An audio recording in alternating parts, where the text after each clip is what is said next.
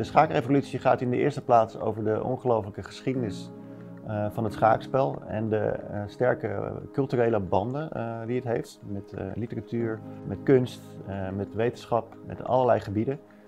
die, die laat ik zien in het eerste deel van het boek.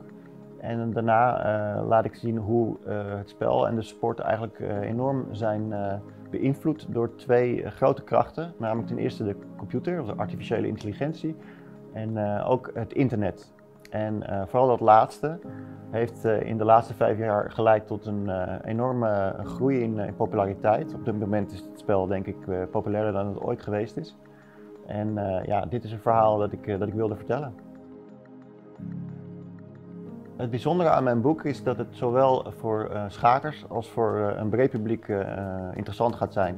Vooral ook omdat ik heel veel over het wereldje vertel, over de 1500 jaar geschiedenis die het heeft, over de sterke banden met onze cultuur, met literatuur en kunst en wetenschap, met de vele verhalen die er zijn en de ontzettend leuke anekdotes en bijzondere spelers uit de geschiedenis. Dat is denk ik ontzettend interessant om te lezen voor, voor heel veel mensen.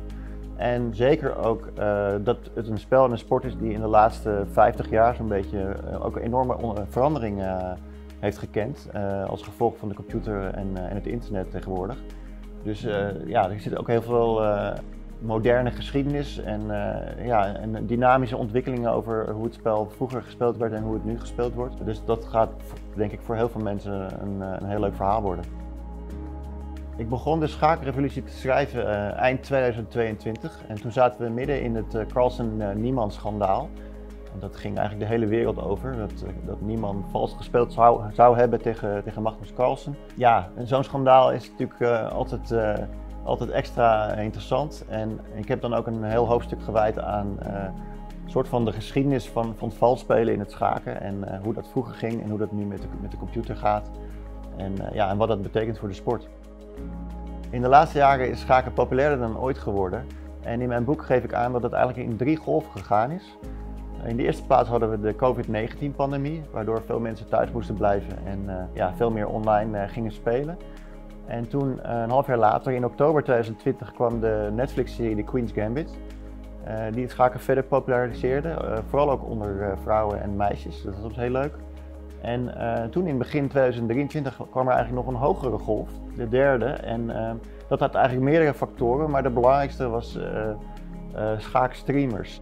Spelers die op YouTube en TikTok en Instagram heel veel video's gingen maken. Onder andere Levi Rossman, Gotham Chess, heeft het schaken super gestimuleerd. En als gevolg daarvan kreeg Chess.com bijvoorbeeld miljoenen nieuwe leden maandelijks.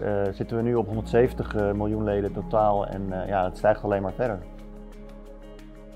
Ik denk dat mijn boek De Schaakrevolutie uniek is, omdat het een boek is over de sport en het spel en over het wereldje erachter.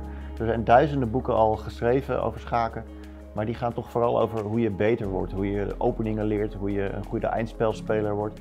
Terwijl ik heb geschreven over de vele anekdotes, verhalen, beroemde spelers en verbanden met onze westerse cultuur die ontzettend uh, diep gaan en, en 1500 jaar eh, teruggaan. Uh, terwijl je tegenwoordig nog steeds schaken overal tegenkomt in, in series zoals, als Friends en The Crown en Big Bang Theory. Waar, waar dan ook, je hoeft maar de televisie aan te zetten en, en je komt schaken tegen.